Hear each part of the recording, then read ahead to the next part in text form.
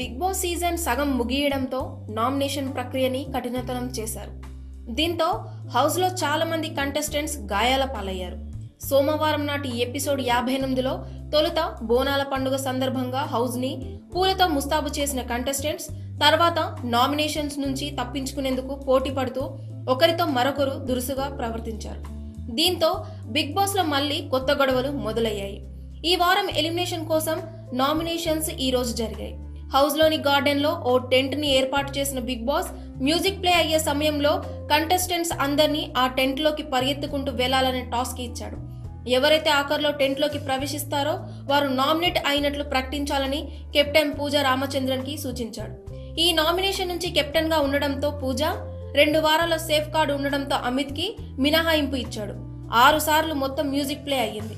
తొలిసారి మ్యూజిక్ వచ్చినప్పుడు కంటెస్టెంట్స్ పరిగెత్తగా బాబు గోగినేని చివరగా టెంట్లోకి ప్రవేశించాడు.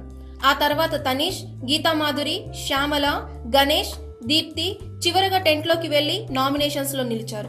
వాస్తవానికి తనీష్ లోపలికి వెళ్ళిపోతుండగా అతని వెనుక చివర్లో దీప్తి సునైన ఉండడంతో ఆమె కోసం అలానే టెంట్లోకి వెళ్ళకుండా త్యాగం చేశాడు.